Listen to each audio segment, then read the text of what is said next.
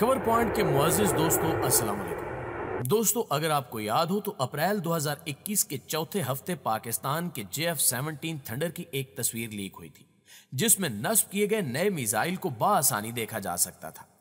मुमकिन तौर पर यह उसी किस्म का मिसाइल मालूम होता था, जिसने 27 फरवरी को भारतीय जंगी त्यारों को अपना निशाना बनाकर ज़मीन बोस कर दिया था।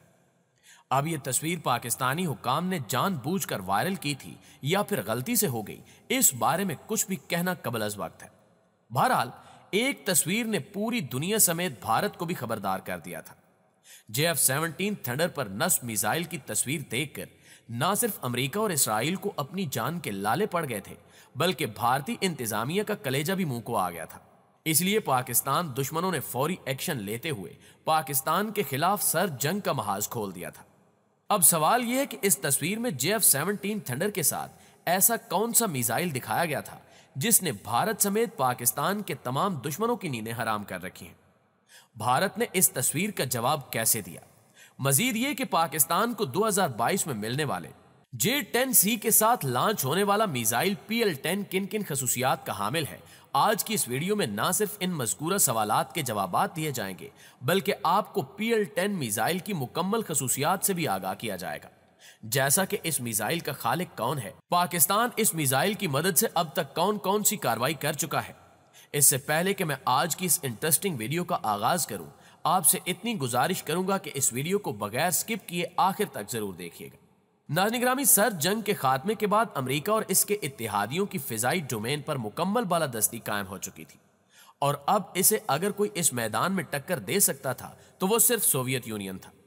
मगर सोवियत यूनियन के बिखर जाने के बाद यह कांटा भी अमेरिका के रास्ते से साफ़ हो गया। लेकिन दूसरी जानब चीन अमेरिका के लिए एक नया दर्द सर बनकर उभर रहा था। 1981 तक चीन रशिया की जंगी टेक्नोलॉजी हासिल करके इसकी कापियाँ तैयार कर रहा था। मगर अब ना सिर्फ़ वो एयरक्राफ्ट खुद तैयार कर रहा है, बल्कि इसने इन एयरक्राफ्ट से लॉन्च होने वाले ऐसे तबाहकुन मिसाइल भी तैयार करना शुरू कर रखे हैं, जो पलक झपकते ही दुश्मन के त्यारों को आसमान से निशाना बनाकर ज़मीन में दफन करने की बाकमाल सलाहियत रखते हैं। इस बात में कोई दो राय नहीं कि चीन को हर मैदान में रूस की सपोर्ट हासिल थी, मगर आज चार दहाइयाँ गुजरने के बाद चीन न सिर्फ़ मुआशी एतबार से, बल्कि दिफाई मामलात में भी अमरीका के मुकाबले में आ खड़ा हुआ है।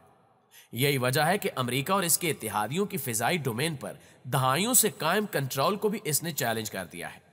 क्योंकि अमरीका जितने बजट में कोई जंगी हथियार तैयार करता है, चीन उतने ही बजट में इसके मुकाबले के चार हथियार तैयार कर लेता है। हवा से हवा में मार करने वाले PL ten short range missile के साथ भी कुछ ऐसा ही सीन है। 2015 में जब चीन ने रशिया के ताउन से अपनी पीएल सीरीज़ की एयर टू एयर मिसाइल की नुमाइश की थी तो वाशिंगटन से लेकर तेलबीब तक कोहराम बरपा हो गया था, क्योंकि इस सीरीज़ के लॉन्च होने पर अमेरिका को यह पैगाम दिया गया था कि अमेरिका का पुराना हरीफ रूस और मौजूदा हरीफ चीन अब दिफाई मामला में एक झंडे तले जमा हो चुके हैं। और दोनों ममालिक ने पीएल नामी इस सीरीज़ में कोई एक या दो नहीं, बल्कि कई मिसाइल तैयार कर रखे हैं। बात यहीं पर खत्म नहीं होती। क्योंकि चीन और रूस मिलकर मुस्तकबिल में इसके मजीद वेरिएंट्स भी लॉन्च करने वाले हैं। जहाँ तक short range PL ten missile का सवाल है तो चीन ने 2018 में इसे पहली मरतबा अपनी सर्विस में शामिल किया था। शायद इसी साल या फिर उससे अगले साल खुफिया तौर पर पाकिस्तान को भी यह मिसाइल फ्राहम कर दिया गया था। मैं ऐसा इसलिए कह रहा हूँ क्योंकि 27 फरवरी 2019 में पाकिस्तान ने इसी मिसाइल की मदद से भारत के मिग 21 और सखुई जंगी त्यारे को मार गिराया था। याद रहे कि अप्रैल 2021 में पाकिस्तानी हुकाम की जानब से एक तस्वीर शाया की गई, जो देखते ही देखते वायरल हो गई। इसमें जे एफ़ सेवनटीन थंडर के साथ पीएल टेन के इसी मिसाइल को दिखाया गया था। इस तस्वीर को देखते हुए भारत ने फौरी एक्शन लिया और अपने तैयार करदा एयरक्राफ्ट पर इसराइली साख्ता पाइथून फाइव लॉन्च कर दिया। बिलाशुबा यह हकीकत है कि पाइथून फाइव पीएल टेन की टक्कर का मिसाइल है। मगर दूसरी जानब भारत के लिए यह भी एक तल्ख हकीकत है कि Pakistani J F seventeen thunder और जे टेन सी के आगे भारतीय एयरक्राफ्ट तेजस की काबिलियत कुछ ज़्यादा नहीं है। इस तरह भारत इस सर जंग के मैदान में न सिर्फ़ दिफाई एतबार से, बल्कि मुआशी एतबार से भी शिकस्त खा रहा है। क्योंकि तेजस को अभी तक एक भी घाक नहीं मिला और सोने पर सुहागा ये कि खुद भारतीय एयरफोर्स ने भी इसे चलाने से इनकार कर रखा है। और दूसरी जानब जे एफ़ सेवनटीन थंडर को न सिर्फ़ गाहक मिलना शुरू हो गए हैं, बल्कि इसने अपनी पहली खेप भी रवाना कर दी है। नाइजेरिया ने तो जे एफ़ सेवनटीन थंडर की मुकम्मल ट्रेनिंग लेकर अपने दुश्मनों को निशाना बनाना भी शुरू कर दिया है।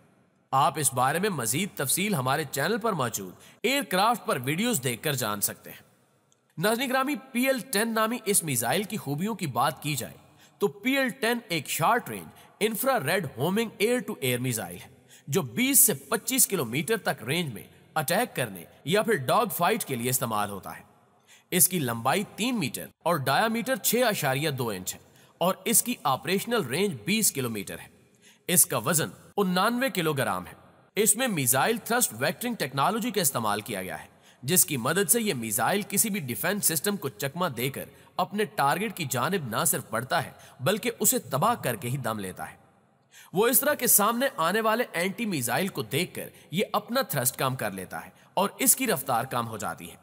जैसे ही इसके सामने टारगेट आता है, इसका थ्रस्ट ऑटोमेटिकली तौर पर बढ़ जाता है और ये अपनी रफ्तार बढ़ाकर अटैक कर देता है।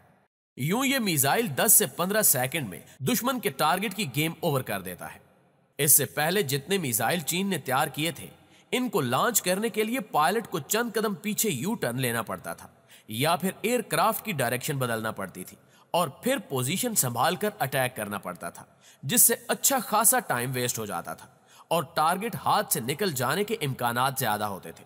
मगर अब इसमें मिसाइल थ्रस्ट वेक्टर टेक्नोलॉजी की मदद से इस मिसाइल को चकमा देना तकरीबन नामुमकिन है। आप लोगों की मालूम के लिए बताता चलूँ कि इस मिसाइल में सॉलिड प्रोपेलेट रॉकेट इंजन इस्तेमाल किया गया है। जिसकी वजह से इसकी रफ्तार, आवाज़ की रफ्तार से चार गुना बढ़ जाती है। यह एंटी स्टेल्थ मिसाइल है, जिसे जाम करना बेहद ही मुश्किल होता है। इसके गाइडेंस सिस्टम की बात की जाए तो इसमें इंफ्रारेड होमिंग सिस्टम इंस्टॉल है, जिसकी मदद से इसे हेलमेट माउंटेन डिस्प्ले के ज़रिए भी दुश्मन पर फायर किया जा सकता है। यहाँ एक और बात वाजे करता चलूँ कि यह मिसाइल चूँकि जे एफ़ सेवनटीन थंडर और जे टेन सी से लॉन्च किया जाएगा तो इसमें इस्तेमाल होने वाला हेलमेट भी पीएल टेन की खूबियों को चार चाँद लगा देता है। वो इस तरह की यह हेलमेट मुख्तलिफ़ अतराफ का डाटा हेलमेट माउंटेन डिस्प्ले पर दिखाता है। मजीद ये कि इस एयरक्राफ्ट पर लगे सेंसर ज़्यादा फासले तक डाटा रिकॉर्ड कर सकते हैं। जब ज़्यादा फासले तक डाटा रिकॉर्ड होगा तो यकीनन एयरक्राफ्ट का पायलट दुश्मन को संभलने से भी पहले उस पर अटैक कर सकेगा।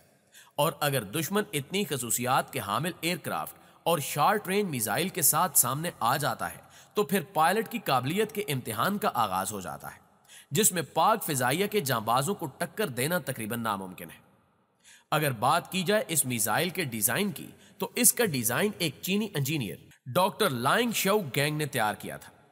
वाजर है कि अब तक का चीन का सबसे बेहतरीन शार्ट रेंज मिसाइल है, क्योंकि इसकी सबसे बड़ी खसूसियत यह है कि इसे पायलट के हेलमेट में लगे बटनों से भी लॉन्च किया जा सकता है। और ये मिसाइल ना सिर्फ़ हवा से हवा में मार करने वाले इसराइली साख्ता पाइथून फाइव को टक्कर दे सकता है, बल्कि जदीद तरीन अमरीकी sidewinder A I M nine X को टक्कर देने की भी मुकम्मल सलाहियत रखता है। जी तो दोस्तों, उम्मीद करता हूँ कि आज की ये वीडियो आपको पसंद आई होगी। इसके बाद आप लोग किस हथियार की मुकम्मल मालूम पर वीडियो देखना चाहते हैं, कमेंट करके अपनी राय हम तक ज़रूर पहुंचाइएगा, ताकि हम आपकी ख्वाहिश के एन मुताबिक वीडियो अपलोड कर सकें।